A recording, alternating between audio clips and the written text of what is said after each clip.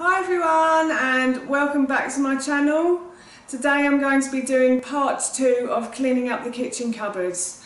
So part one I cleaned up the food storage cupboard and part two I'm just cleaning out our storage cupboards and if I've got time I'll do this part of the kitchen as well. So wish me luck!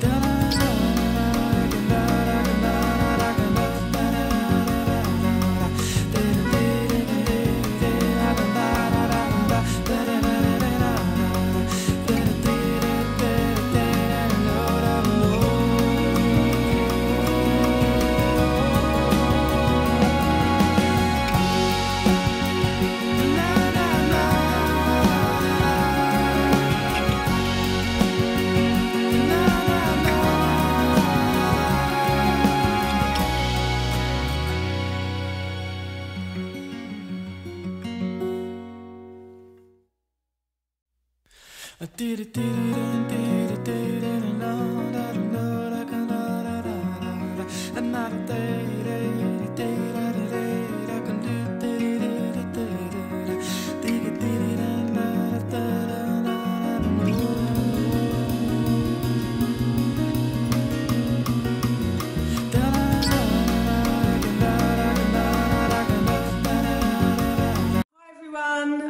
so basically this is what we have in our kitchen cupboards. I'll take you around and show you it in a minute, but I thought I would show you what I'm going to use to clean the cupboards. I did this in part one as well. So basically I use a all natural soap called Castella soap. It's got like coconut oil in it and sunflower oil and it's really good for cleaning things. I've discovered in since giving up sugar that bleach and things are not good for us. It's chemical and that isn't good for our bodies. So I'm trying to use as natural as possible now. And basically I use one part Castella soap, the rest is filtered water, and then I use about 20 drops of tea tree oil just to make it smell nice. And tea tree oil is also a really good disinfectant as well. So that's what I'm going to use to clean the kitchen cupboards.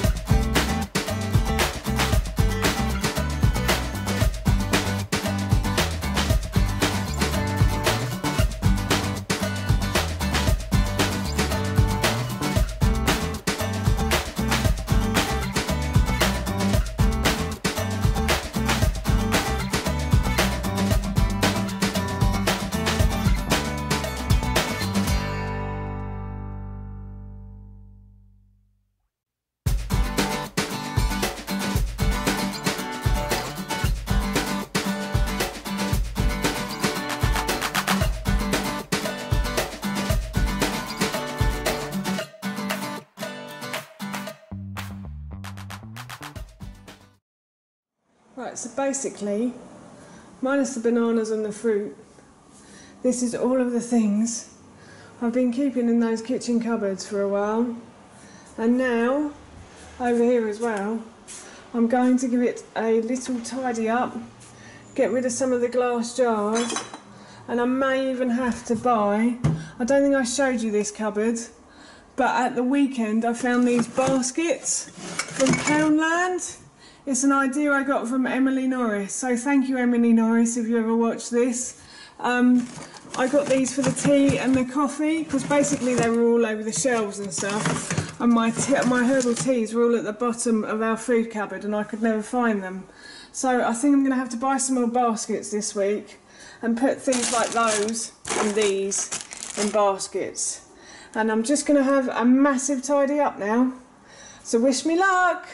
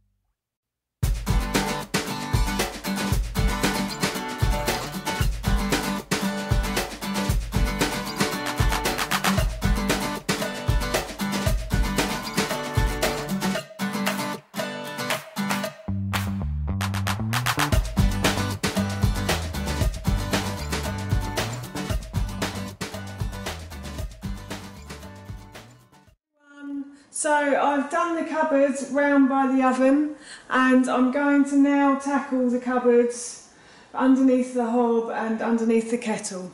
Okay?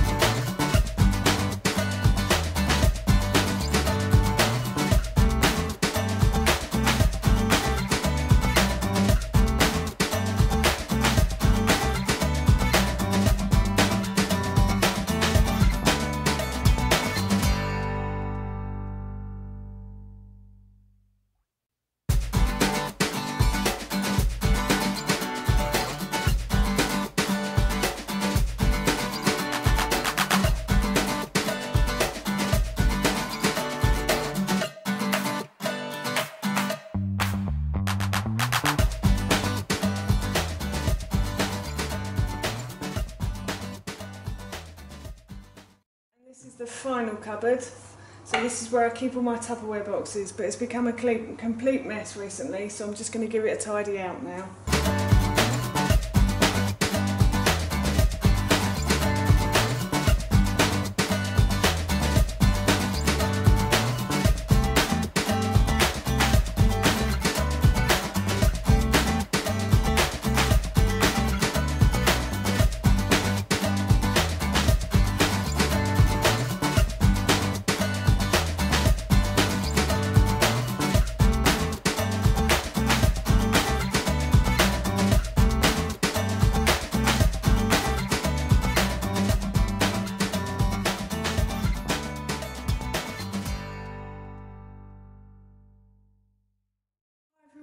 So the kitchen is now done so I will take you around and show you my new kitchen. This is the finished cupboard now. Ta-da! Um, so what I've done is I've tried to keep all of the Magimix stuff in the same similar sort of place.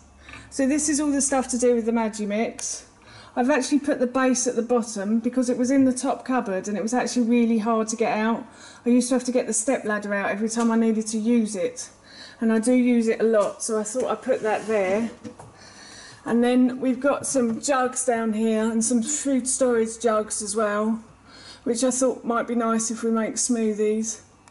And then in here are my Pampered Chef jugs and a box I'm not really sure what to do with, so I just thought I'd leave it in there. Then in this drawer I've got my baking trays. I thought this was a more sensible place to put them because it's underneath the oven, as you can see. So I put these in the bottom. And then I've got empty storage here for anything that we might get.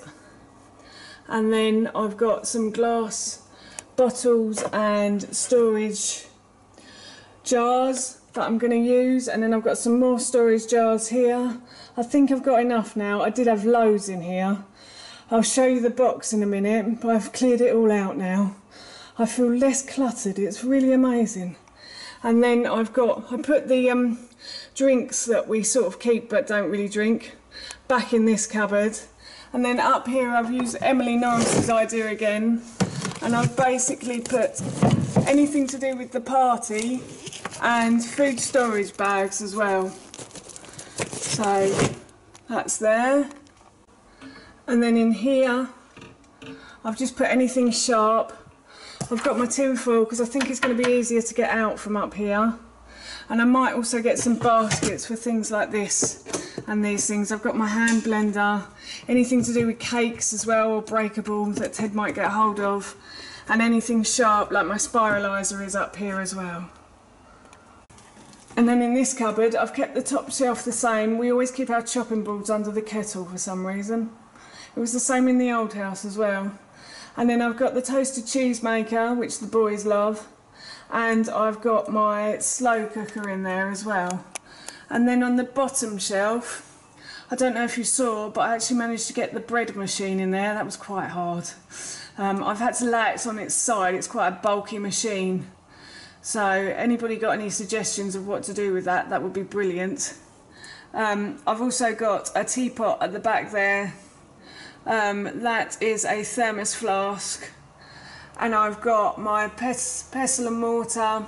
There's a yogurt making machine which I'm, I'm hoping to have a go at soon, making my own yogurt. And then there is the jugs that I like to keep as well. Just had a tidy up of all the Tupperware boxes. And I've put Tupperware boxes inside Tupperware boxes.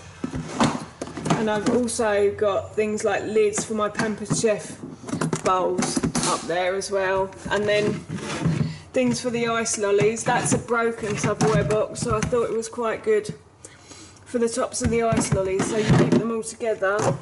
And then that's little drinks things that I've kept they're good for babies. Somebody said try and get your child to drink out of a shot glass. So I thought I'd keep those hopefully for the next one.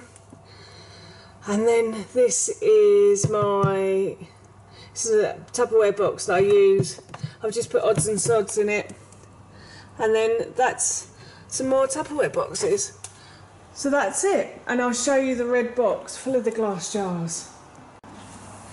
So this is our red box ready to go to recycling loads and loads of glass jars that I was keeping in there and I'm so pleased to be rid of now and I also had a tidy up of this drawer here as well. So I took these from that cupboard and I put them in here. I thought it was a better place to store them. Um, it's easier to get to them as well.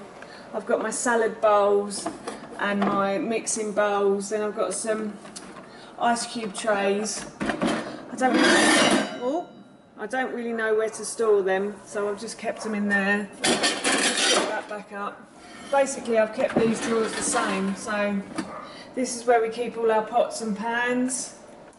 So that's it from me. I hope you enjoyed it. I think there is going to be a part three to this cleaning the kitchen. I've got a lot more stuff to clean out. Please feel free to like comment or subscribe below and I hope to see you next time okay? Bye